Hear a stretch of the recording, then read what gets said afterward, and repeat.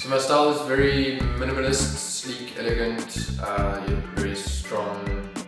powerful, uh, especially in the fact that it's kind of geometric and rigid in that sense. Definitely picking up the creative criticism from everyone, uh, accepting it rather.